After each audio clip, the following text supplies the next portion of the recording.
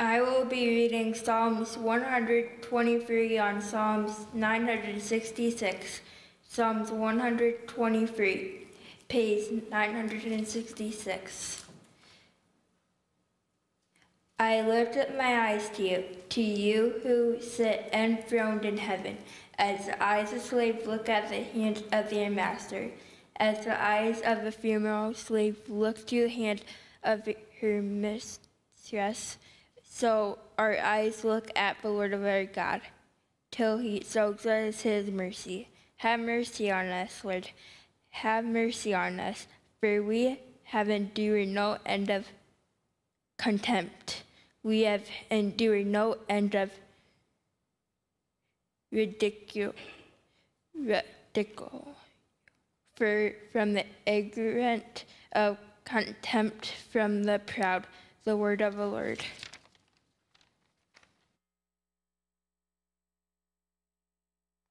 Good job, Ava. Uh, we're going through these Psalms of Ascent. Remember, these are the songs that the Israelites would sing as they would travel the road up to Jerusalem. Jerusalem was at the top of a hill.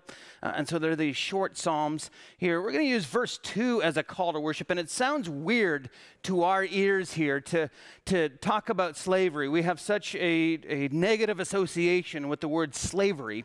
Uh, and so we immediately kind of shut our ears when we hear about it. But think about a slave as a slave is being talked about here in Psalm 123. A slave in that day was completely dependent upon its master for both its livelihood, its, its food and shelter, uh, and as well as the work that it were to do. It would come every day looking to its master for, its assi- for his or her assignment. And the reason that's important is because we are considered as slaves of Christ right? That's how we're to think of ourselves. So it's going to be our call to worship here tonight. We come in here as the eyes of slaves look to the hand of their master, and the eyes of a female slave looks to the hand of her mistress. So our eyes look to the Lord our God until he shows us his mercy.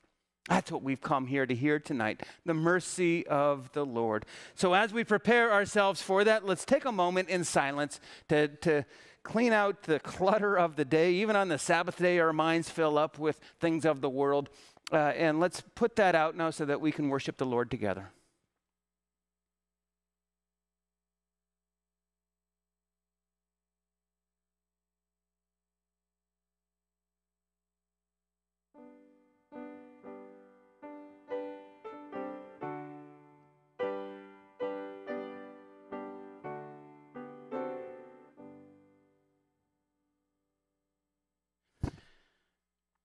Right, we get to sing Psalm 123. Remember, these are short songs, so there's only two verses to it. Uh, to thee, O Lord, I lift mine eyes. So let's stand with the music and sing Psalm 123.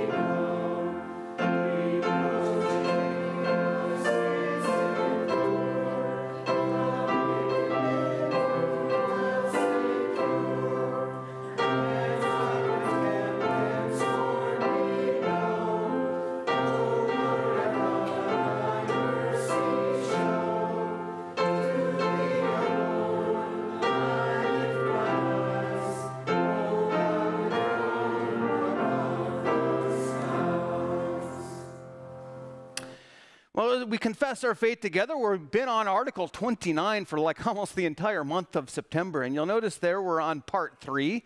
Two weeks ago, we were on part one. You say, well, what happened to part two? Well, we went to Duluth and Pastor Jack came here. Uh, and so don't worry, we cover the information that's in part two quite often when we look at what it means to be a Christian. Uh, but we're here talking about the marks of the true church and then uh, conversely, the marks of the false church.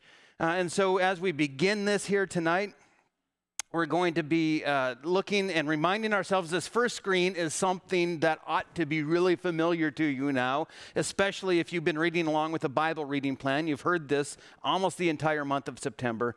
Uh, and then we'll go on and we'll be reminded of what it is that we confess uh, as the marks of the false church.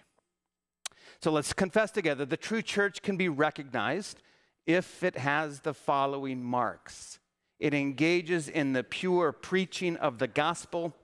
It makes use of the pure administration of the sacraments as Christ instituted them. And it practices church discipline for correcting faults. And I just realized that I never put those second five marks of the false church on the screen. But don't worry, because as we go through God's word tonight, we will go through the five marks of the false church. And so I guess we'll confess it silently in our head as we do so. Uh, but as we come in here, know that through Christ, you are members of the true church, that holy Catholic church that spans all times and all places and because of that, you get this warm welcome from your Father. He says to you, grace and mercy and peace that comes to you from God our Father. It comes to you because of Jesus Christ, his Son, and it's made known to you through the power of the Holy Spirit. Amen. You may be seated.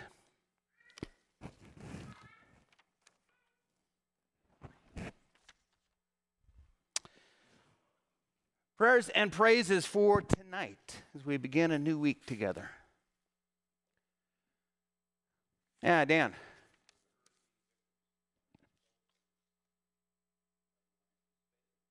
Yeah, it's uh, uh, obviously you've seen in the news or, or uh, what's going on in, in, Appalachian country down in the in the south and up in the hills in North Carolina. Uh, we don't even know the extent of the dev- devastation yet. There's still uh, they're still discovering a lot of it. And it's just, we, we saw what happens around here this past June, right? When we had the floods uh, around us here and into northwest Iowa, and how devastating that could be. That was a couple of neighborhoods when it came down to it that were destroyed around here, and, and that was a pretty heavy blow. Now, you look at what happened in that hurricane, and it spread out over a four or 500 mile range uh, and complete and utter devastation of communities. Uh, and now there's another one, as Dan said, that's forecast to come uh, on the coast of Florida sometime later this week. So we'll keep our neighbors to the south in our prayers. Yeah, Linda. Yeah, Linda's cousin Nancy, who lives in Michigan. She's a year or two younger, I think, than, than you, right? Yeah. Uh, she just was diagnosed with breast cancer. And so Nancy Hoeksema is her name. We'll pray for her.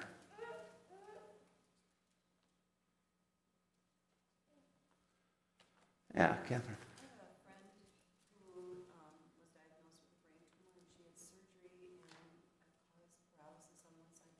Mm. Um, and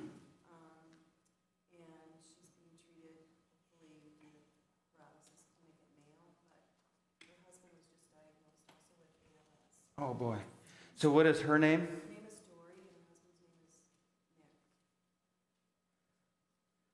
So Catherine's friend Dory just she had surgery a while back and it caused some paralysis on her face and so she's still working through that at the Mayo Clinic and now her husband Nick uh, has been diagnosed with ALS. Yeah. So yeah, a lot of lot going on in in, Nor, in Dory and Nick's life and so we'll pray for for them. Yeah, Rod. Uh, yesterday afternoon, we had a, a friend of ours killed in a farm accident. Mm.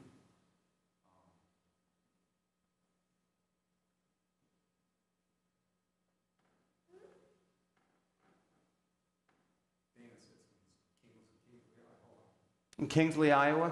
Yeah.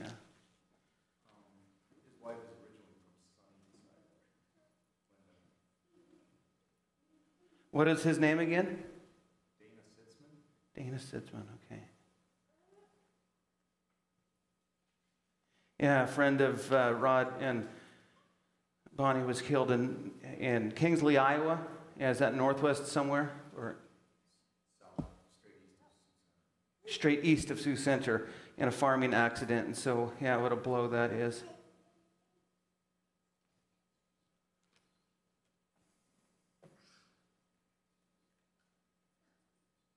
Other prayers or praises for tonight? Yeah, Alan. Oh, okay. Okay. Jim Wassenaar, a former member of this congregation, uh, just was able to come home from the hospital and go home, not to a nursing or rehab home. So he's at home. So that's, that's an answer to prayer.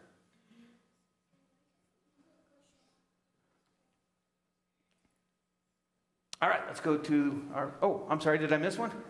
Yeah, Howard. Yeah, yeah, the cadets uh, were here in force both on Wednesday night and then they all came and, and these men took them out camping over the weekend uh, there at the park on Highway 9 and it was a good, a good time for, for everyone. Uh, everybody came back with the same amount of fingers and toes that they went down there with, right? And so that, that was a success then, wasn't it?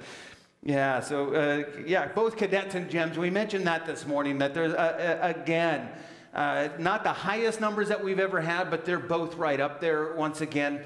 Um, we got an excellent roster of counselors on both sides for both gems and cadets. Uh, and then the cadets were able to go on a camp out this weekend and have a good time. Um, and so, yeah, a lot to be thankful for there.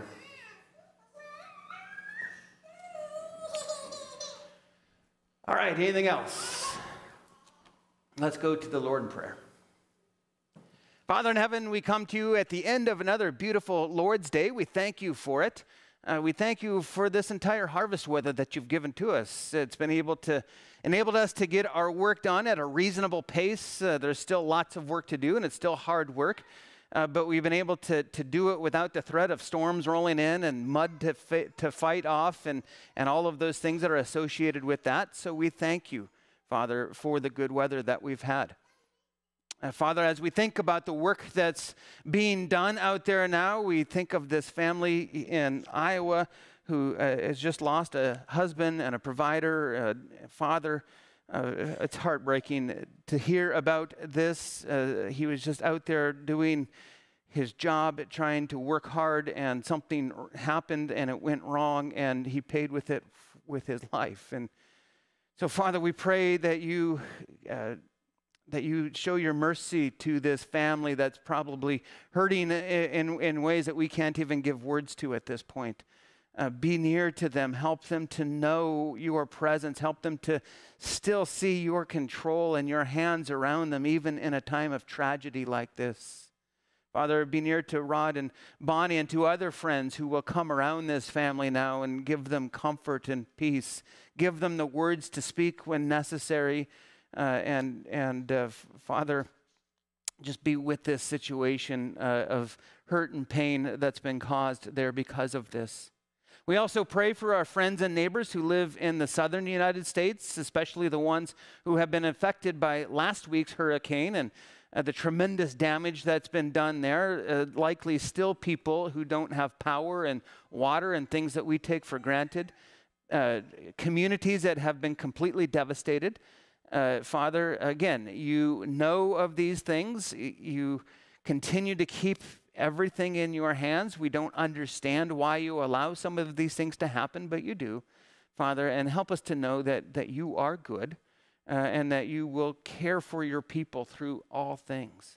And we think of that especially now as the uh, state of Florida, especially, faces yet another hurricane this coming week. And so, as they begin to make preparations for that and as they endure that over the course of this week, we pray that you will uh, guide, guard, and protect uh, the people who are in the path of it. Father, we think of those who are sick and struggling with various, various illnesses and diseases. We think of uh, Linda's cousin Nancy in Michigan having just been diagnosed with breast cancer. It's, a tough diagnosis to get. Uh, and so keep her and her family, her husband and kids uh, in, in We think of them, Father, and we pray that you would give them your peace as well through this difficult situation. Uh, we think of Dory and her husband Nick, both of whom are facing different medical challenges, but uh, significant challenges nonetheless. And so we pray that your healing mercies would be extended to them. We thank you that she can be being treated at the Mayo Clinic, that we have this tremendous medical resource right in our backyards. What a blessing that is. We thank you for it. And we pray that in Dory's case, it will, uh, it will have some success with the paralysis that she's facing. Be with Nick now as he faces a diagnosis of ALS. Uh, it's a tough diagnosis to get as well, but Father, you will provide, and we know that. Father, we thank you that Jim Wassenaar was able to come home after a stay in the hospital and in the nursing home. We pray that you would, uh, we thank you for the health that, that he's uh, experiencing once again, and we pray that that would continue for him. And we also thank you for the tremendous blessing that you've given us once again in having so many boys and girls come to this place on Wednesday nights for gems and cadets. Uh, we thank you for the good time that the cadets could have at the campground here a few miles away and, and uh, all the fun, the memories that they could make. We thank you for the for the men and women who have stepped up to be counselors. It's such a privilege to, to walk around this building on a Wednesday night and, and all the busyness and chaos that's going on, and then to look into the various classrooms and see little heads all looking into your word, all at a different level, all learning slightly different things and in a slightly different way, but learning your word, Father. That is, there's nothing better that I can imagine, and that's what's happening here. We thank you for that. And we pray for continued blessings upon the men and women who are, are working as these counselors, upon the kids and the families that they represent. Uh, Father, may your spirit open their little hearts and minds to your word, uh, that, they, that it would be planted deeply and that that seed would grow and develop over time. Father, as we begin a new week together, we, uh, none of us know what's on uh, our radars, what will pop up for us in the coming days. But again, you know, and we are in your hands, and so we thank you for that. Uh, bless our time together here tonight as we continue to worship you, as we listen to your word. All this we pray in Jesus' name. Amen. Well, as we prepare ourselves to hear God's word, let's do that uh, with music, the familiar song here. We're going to start singing it now. Uh, we'll sing the first three verses, and then after uh, we're finished here tonight, we'll use the second, uh, or verse four and five, for our doxology as we leave. So the first three verses now of the church's one foundation.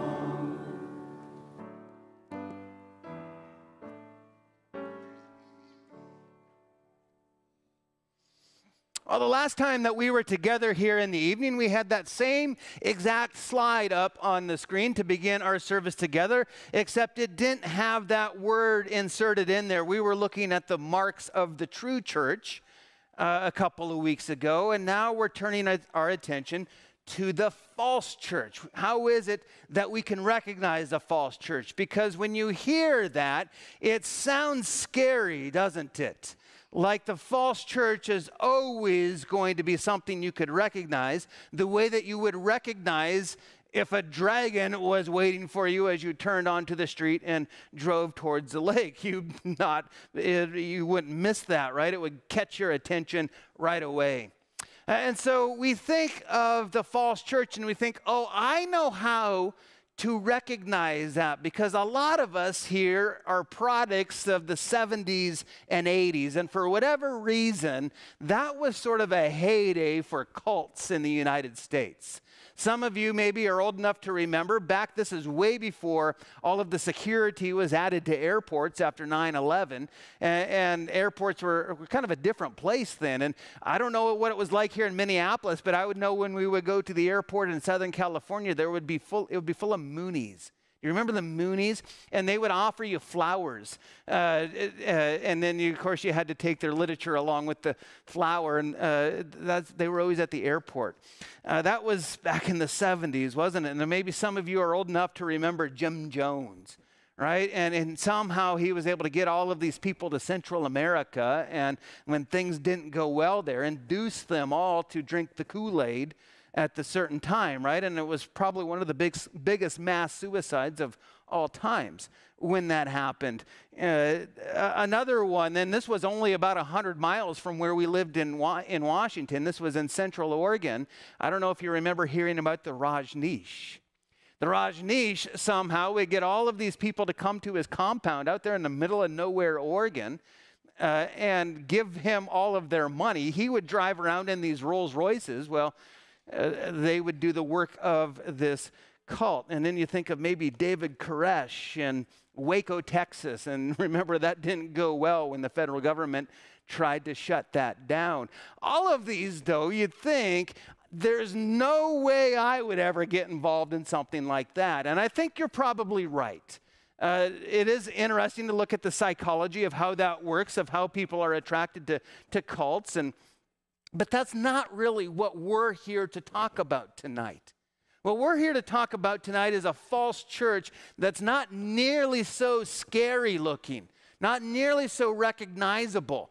Uh, what I want you to think of is sort of what this picture here entails. What we're thinking of is a facade of a church that from the one side looks like a really good, solid church, but then once you get into it, there's nothing there.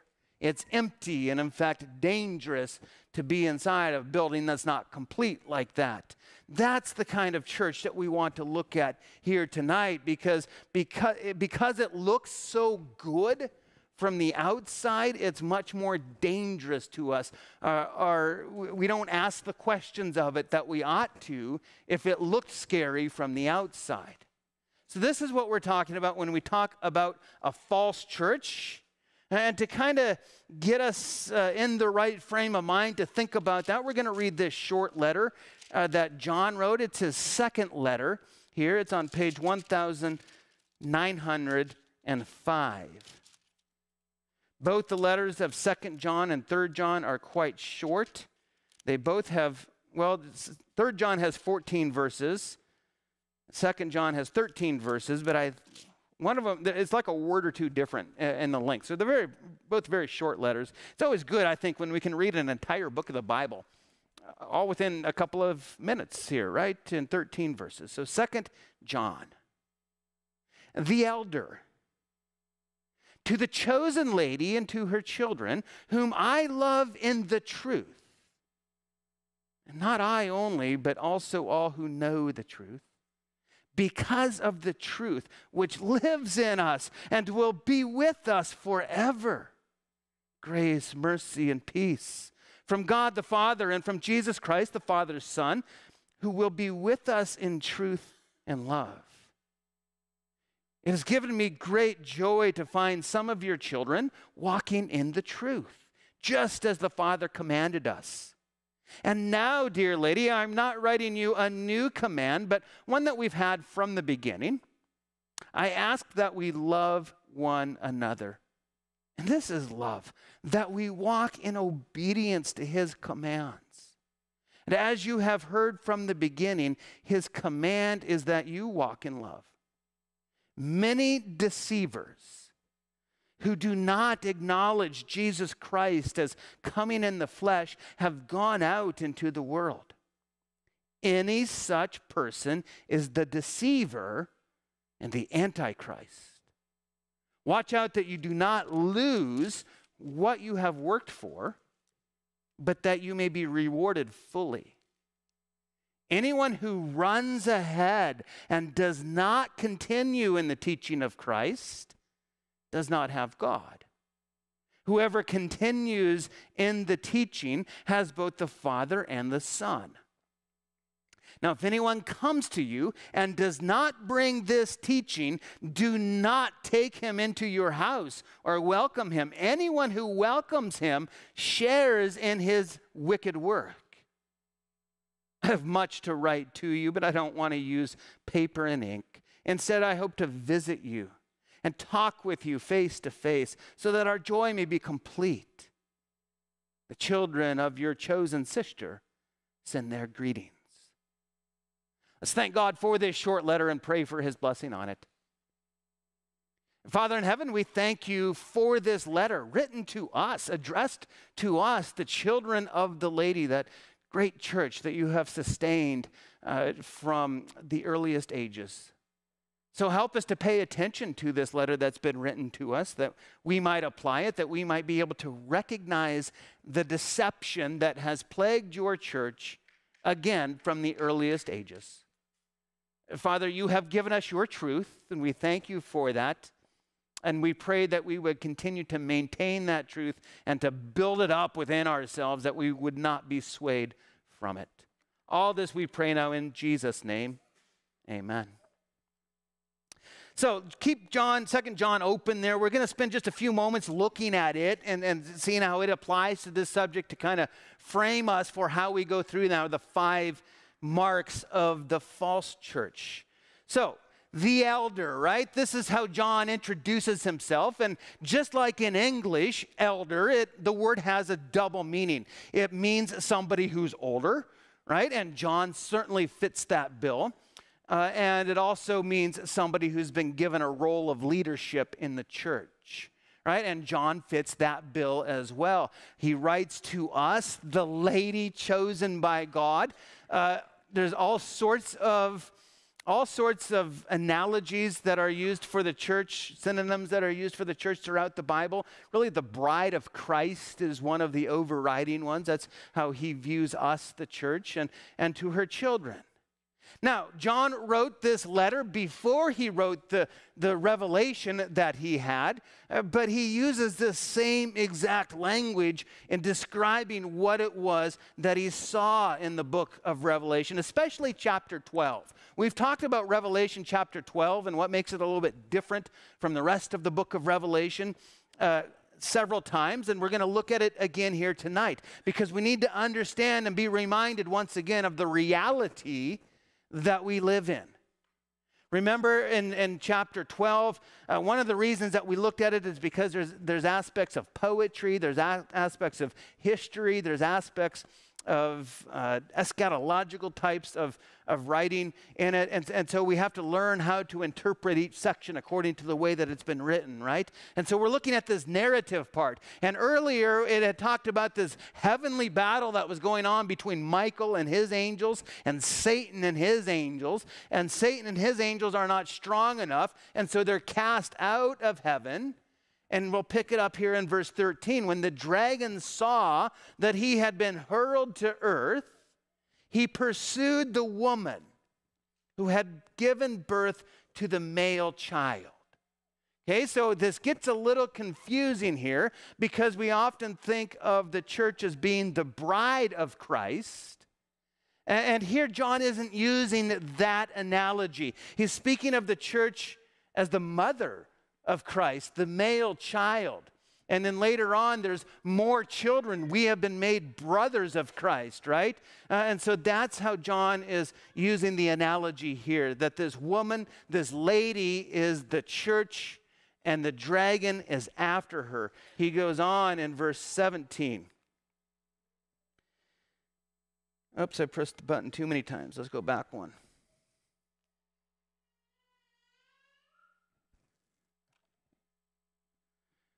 So the dragon was enraged at the woman, right? He was enraged at the woman, and because God protects the church, and he goes off to wage war against the rest of her offspring, those who keep God's commands and hold fast their testimony about Jesus. Again, we have to be reminded of this reality that we're in because our lives are so good. We have things pretty good here, right? And we forget that we are in the midst of a spiritual war. And so it changes our attitude about how we really handle ourselves. We handle ourselves as if everything is good right now because that's what we see and that's what we feel. But we know that that's not the situation, that we're in the midst of the war, that He's waging war against us, and that He's after us at all times right? And so that's the context here that, that John is using when he talks about the lady and her children.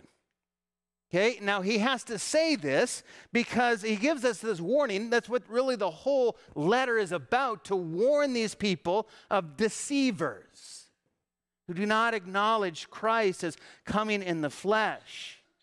Okay, and in that particular context, that's what was infiltrating the church at times. And it took different, it, it, fit into different patterns. Some would say that, that Jesus wasn't really a man, he just sort of looked like a man, uh, but he was God. Uh, and it, he just wasn't really a man. Others would say, well, he was just a man, and for a time he had the presence of God on him, but that kind of came and went. Uh, they're deceptions of what Jesus Christ was. They were not treating Christ as we treat him, as being fully God and fully man. They were something less on either side of that equation. Okay, and now this is not the only time, John is not the only author in the Bible who speaks of deceivers coming to the church. Every author of the New Testament speaks of it. Jesus speaks of it here. Matthew chapter 24. He says, false messiahs and false prophets will appear and perform great signs and wonders to deceive, if possible, even the elect. This is why we need to be aware of that because, again, this deceiver is not always going to look like a dragon to us. In fact, most of the time, it won't. Most of the time, it's going to look good and inviting and something that we would like to be part of. We'll see these great signs and wonders.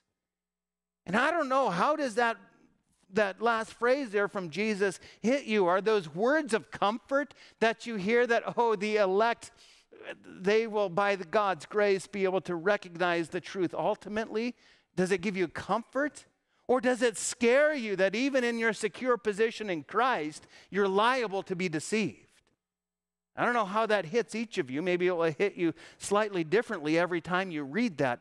But that's the tension that the New Testament puts us in, right? We're fully secure in the hands of Christ because God is the one who elected us and chose us. But yet, over and over, we're told to make every effort uh, to hold on to the truth. And Jesus says that same thing to us here. I'll hang on to you, but if I wouldn't, Jesus says you would fall down for sure. So Jesus talks about it. Paul talks about it here in Thessalonians. Paul calls him the lawless one, this deceiver. Will be in accordance with how Satan works. He'll use all sorts of displays of power through signs and wonders that serve the lie. Again, these are going to be things that look attractive to us signs and wonders. Paul goes on in verse 10. He says, and of all the ways that the Uh, and all the ways that wickedness deceives those who are perishing.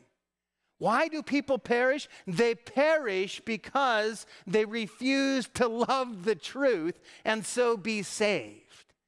So, what we're being reminded of there by Paul is that these deceivers are coming, and the way that you and I are going to be able to defend ourselves from these deceivers is to love the truth.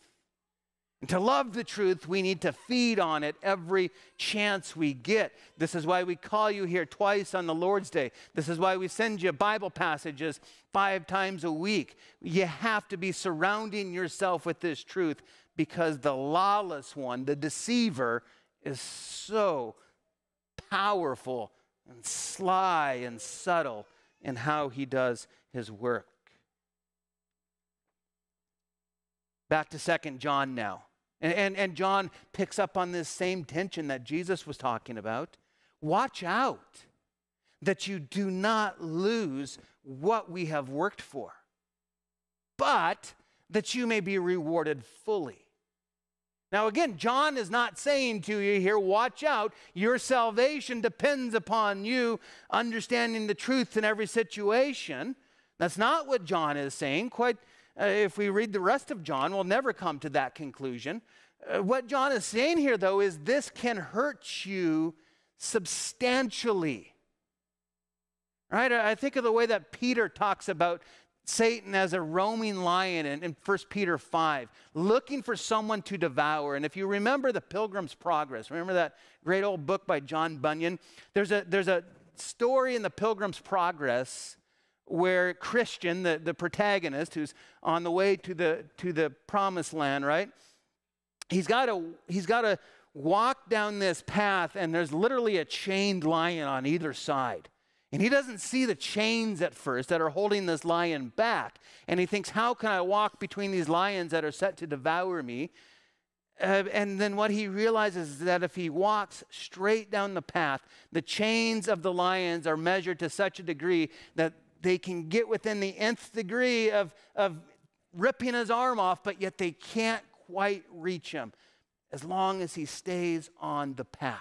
This is what John is telling us here. You can get hurt quite badly if you stray to the right or to the left. But you want to be rewarded fully, right?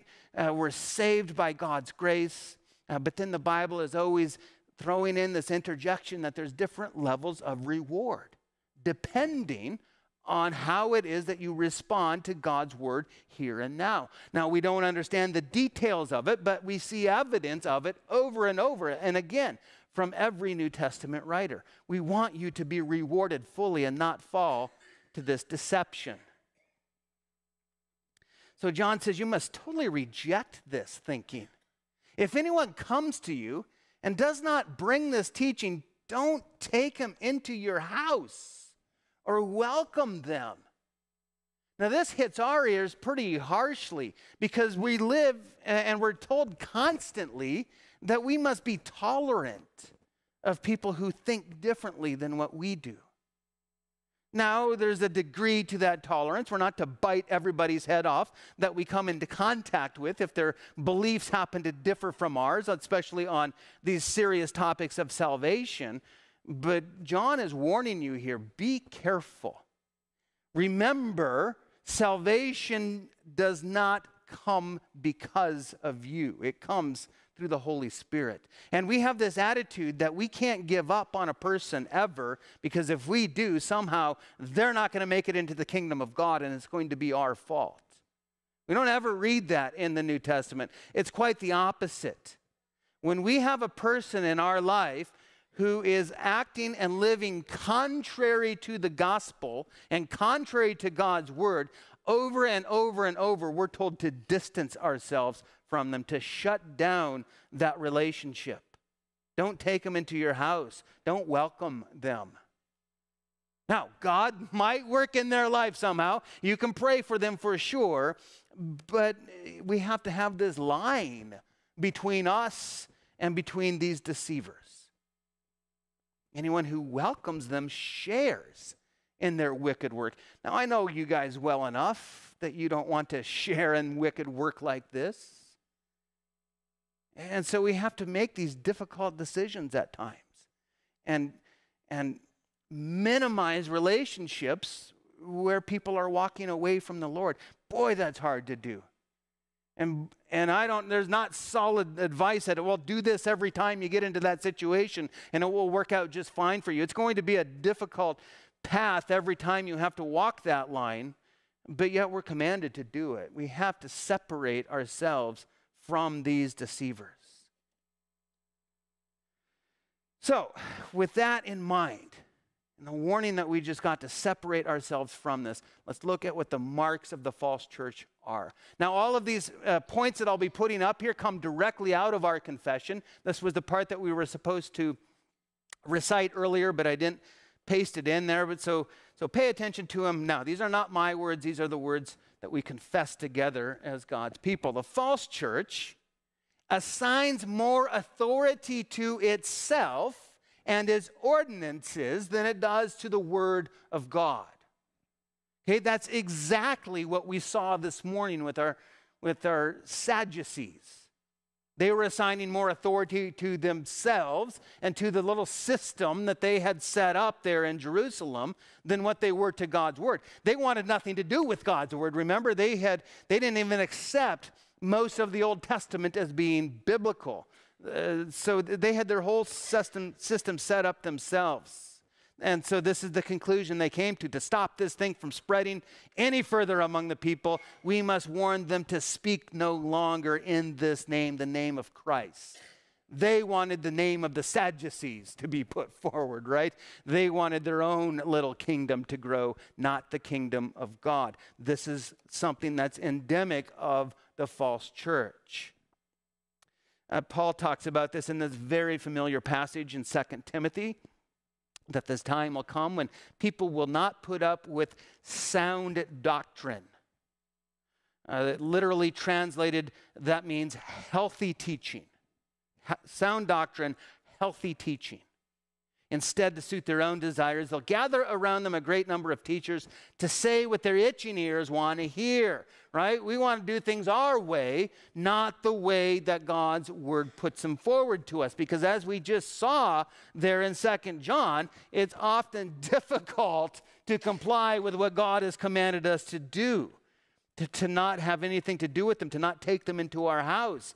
Boy, I would rather do something a lot more tolerant than that, wouldn't you? Uh, but Paul says, don't fall for it. That's not healthy doctrine. That's not, that's not good teaching. So the false church assigns more authority to itself and to its ordinances, its way of doing things, than it does to the Word of God. Secondly, the false church does not want to subject itself to the yoke of Christ. In other words, it does not want to do what Christ commanded it to do.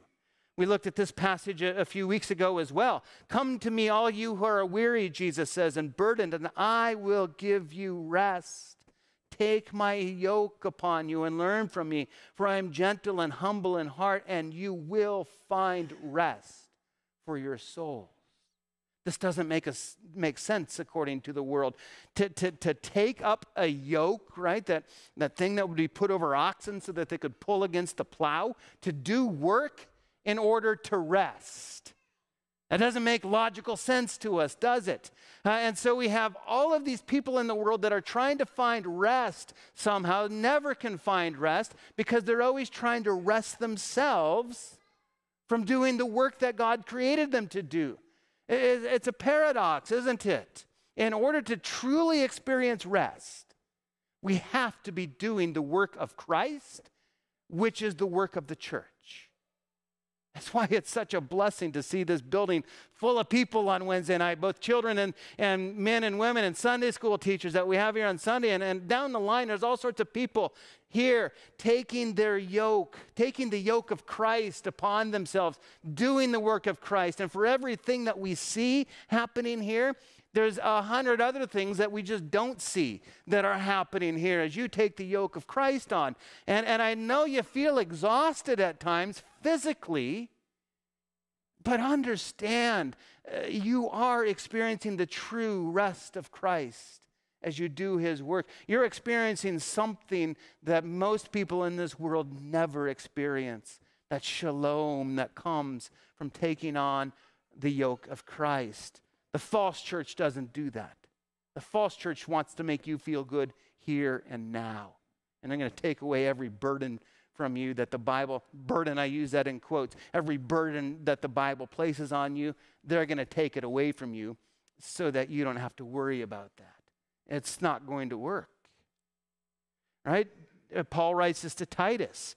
Here's what this yoke entails the grace of God has appeared that offers salvation to all people. This grace teaches us to say no to ungodliness and worldly passions and to live self controlled, upright, and godly lives in this present age. Again, completely the opposite of the message of the world. The message of this world is you need to enjoy yourself right here and now. You need to say no to all of the things that the church is pressing down upon you and just go out there and enjoy yourself. Right? So, completely the opposite. Uh, scripture compared to the world. Uh, the false church assigns more authority to itself and to its ordinances than it does to the Word of God. It does not want to subject itself to the yoke of Christ. Number three, it does not administer the sacraments as Christ commanded in His Word. It rather adds to them or subtracts to them or from them as it pleases. Now, we're not going to go into a lot of detail on number three here tonight, only because over the next couple of months, between now and the end of the year, we're going to be talking about the sacraments a lot as we go through our confession. And so we'll cover a lot of that ground there, Lord willing. Uh, what I, the one thing I want to add here, though, is I've said this before that as we look at the church landscape, especially here in North America, we hold a pretty common theology between all of these different denominations. There's not a whole lot of doctrine that we're going to come to different conclusions on. Now, again, we'll put the emphasis in a different spot here compared to there, but we all are on board more or less with the same doctrine. What sets us apart is how we practice the sacraments, how it is that we express ourselves in worship. That's where the differences come in. And so there is not a church in this community that we would go into and look at the way that they're practicing the sacraments and say, yeah, I'm on board with that. That's how we ought to be doing it too. right? Every church that we would go into in this community, we're going to have some sort of problem with how it is uh, that they're administering the sacraments. Now, that does not make them the false church. They have scriptural rationale for why they're doing it the way that they're doing it.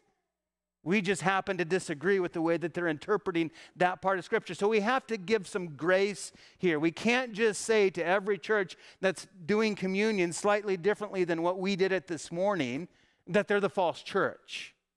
Uh, that would be pushing this too far. So, again, we're going to talk a lot about sacraments moving forward in the coming months, so we'll let that sit for right now. Here's the one that I want to focus on tonight the false church bases itself on men more than on Jesus Christ. Now, to, to be reminded as to why number four is so critically important in our day and age, this is probably the biggest one. We have to go back to the beginning of our year going through the confession, to Article 2, right? We know God by two means. First, we know God through general revelation, through the creation, preservation, and government of the universe. Since that universe is before our eyes like a beautiful book, right? We call that the book of God's general revelation. Psalm 19 the heavens declare the glory of God, the skies, the work of his hands. We can see God in all sorts of things. We can see God as we study science. Oh, we see God in a big way. Scientifically, we see His order, we see His design, we see His beauty and how it is that He's put things together. And it all testifies to us that there is a God. Second, God makes Himself known to us more openly by His holy and divine word. So, we understand that God speaks to us in multiple ways, not just scripture, but we also need to understand that this is a subordinated type of revelation. that general revelation does not speak with the same authority that special revelation does. The analogy that gets used over and over is that our vision is blurry as we look at God's creation, as we try and understand the science that underlies it. We can't quite figure it out, it doesn't make sense. However, when we look at it through the lens of Scripture, we can appreciate it and, and profit from it. But it has to be in that order. This is the challenge that we've been facing as a denomination now for quite some time, that's come to a head really in these past three or four years. I want to share with you an article here that was written in our church magazine, The Banner, and look at that date, 2013. So this is not that long ago, 10, 11 years ago that this was written. But what it does is it encapsulates what it is that we've been pushing back upon in the clearest way that I've ever seen. It's written by a fellow named Edwin Walhout, and he writes this. He says, I suspect that a thousand years from now, Christians will look back at the 21st century and say, How could Christians have let themselves think that? Right? That people in the future are going to look back at us and say, What were you thinking back then? He goes on. He says they'd have in mind our theology, some of the doctrines that are so precious to us that we consider them to be the backbone of Christianity. So, what he's talking about here are not tangential doctrines that are way out in the theological weeds that we're never going to come to agreement on. There's plenty of those. He's talking about the core doctrines of our faith that people in the future are going to look back at us and say, What were we thinking? He goes on. Why do I say this? Because something is happening in our world that is likely to shake our systematic theology to its foundations when we better understand its implications. What is that something? Well, it's an insight that began as a hypothesis in 1859, gradually developed into a scientific theory, and Walhout says is fast becoming recognized as an established fact. I refer to what we have been calling the theory of evolution. Right now, ironically, here, and, and such is the case with so much of this progressivism that we see in our little neck of the woods, it's based on movements that are like 70, 80, 90 years old now. Uh, and really have been discredited along the way, but yet they're still trying to base their theology on them. Now, you understand evolution, right? And we understand that there are different ways to understand evolution. There's microevolution, which in people in agriculture we are very familiar with because we literally can make our crops and our animals change from one generation to the next. We engineer them to be what we want them to be. Right? So we get it that we can make things evolve. But we call that microevolution. And nobody argues with that that that species all over the globe evolve over time, they change over time, they adapt over time. What we're talking about, and what Walhout is talking about here, is what we call macro evolution, cross species evolution, where one species turns into another species. Now, it's important for you to understand that that's a theory. There's evidence for that theory, but it's never been proven. You can't look at any species that's turned into another species. That's what makes something go from the, the realm of theory to the realm of fact. And evolution never has. But here's the danger that he's going to start to get into. When we start basing our theology, our core doctrines, on what we see scientifically, which changes over time significantly, when we start changing our theology to match our science, we get into trouble very quickly. Look at how this happens. He writes, So, what might the implications for theology be? If evolution is the catalyst for change, in what areas may we need to consider or reconsider our traditional theological understanding? First of all, Adam and Eve.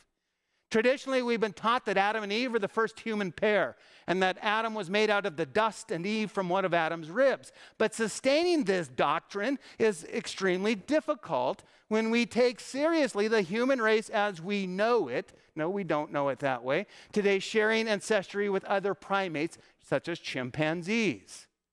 Where in the slow evolution of Homo erectus and Homo habilis and Homo sapiens do Adam and Eve fit? We will have to find a better way of understanding what Genesis tells us about Adam and Eve, one that does justice to Genesis and also what the Bible teaches us about their connection to Jesus. Do you see what he's doing here? He's taking what isn't established scientific fact, but he would like to think it is, and he's now changing his doctrine to fit what science is out there proclaiming. And he's willing to walk away from what the Bible says. He's got it completely backwards. He's reading the Bible through the lens of science, not science through the lens of Scripture. He goes on, it gets worse. The fall into sin. We've traditionally understood Genesis to show the first human beings in a state of innocence, living sinlessly in the Garden of Eden. Then they're tempted. They yield to temptation, and God sends them out of Eden. But if we take the discoveries of historical science seriously, where could we fit that story in? But if Adam and Eve are not understood as real historical people, then there can hardly be an inheritance of sinfulness from the parent to the child, all the way back to Adam, in which case the entire doctrine of original sin falls by the wayside. So we're going to have to find a better way of understanding this. Do you see how vapid this all becomes very quickly? And he's just getting warmed up. How do we understand salvation? If the doctrine of original sin needs to be revisited, theologians need to consider whether our understanding of Jesus also needs to be revised. How does Jesus fit into the ongoing process of evolution in the fullness of time? How does his ministry impact people in later generations? The end times, if we take evolution seriously, that is, that 15 billion years have already passed. What are we to think about what the world will look like in a billion years from now, or even a mere million?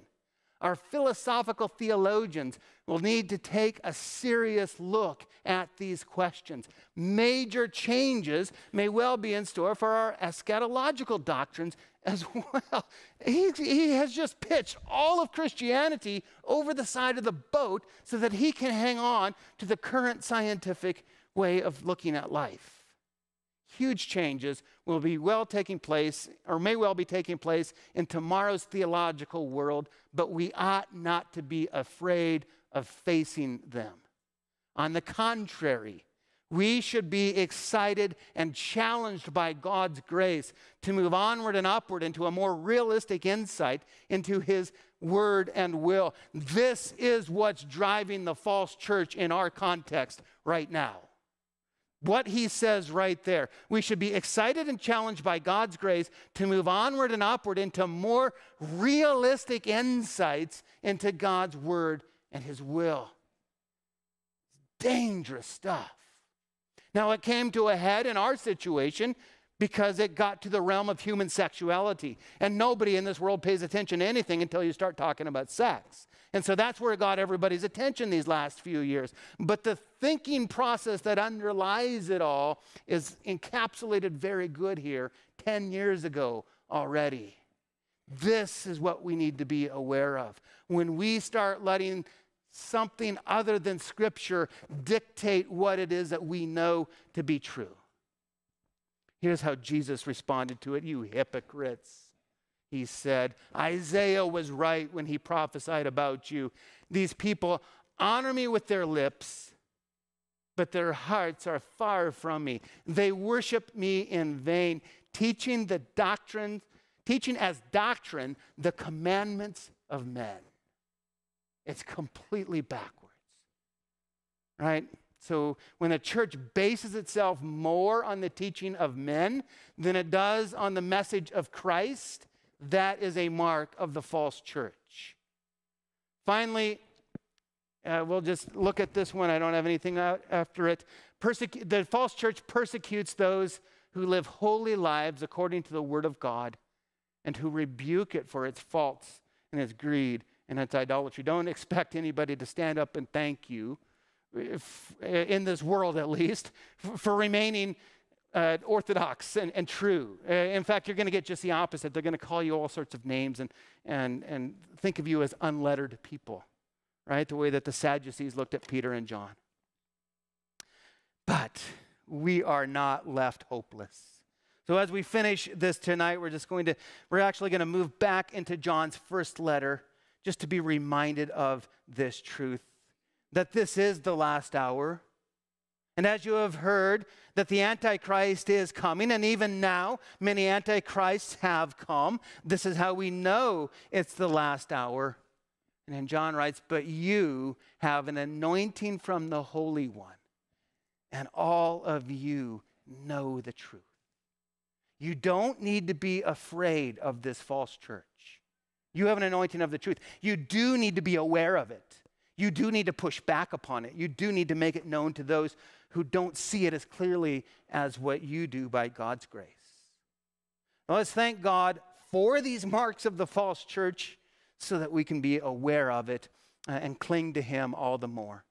Father in heaven, we thank you for your words to us tonight. It's not easy to hear this sort of thing. There's so many other things in the Bible that we probably would rather hear about. But we need to know this. We need to know what it is that we're up against and it's scary. But we thank you that we can look at this not as something that's going to smite us or push us out of your hands, but we can look at this knowing that the more we cling to you and to your word and to your truth, the more we're going to begin to recognize the false church and successfully stand against it. Father, keep us strong. All this we pray in Jesus' name. Amen. Well, let's respond by with a prayer here, right? Jesus, with thy church abide. And we're going to sing three verses of it, standing with the music to sing.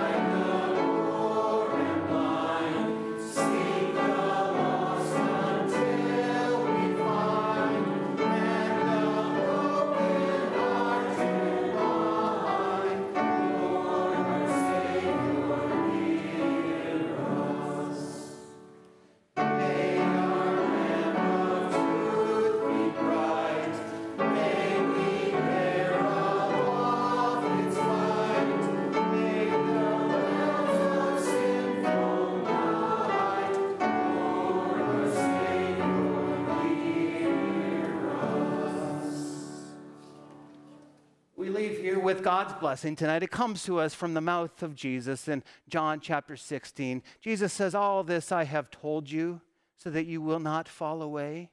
They will put you out of the synagogue. In fact, the time is coming when anyone who kills you will think that they are offering a service to God.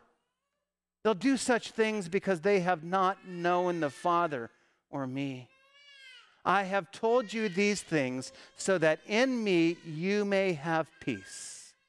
In this world you will have trouble, but take heart. I have overcome the world. Amen.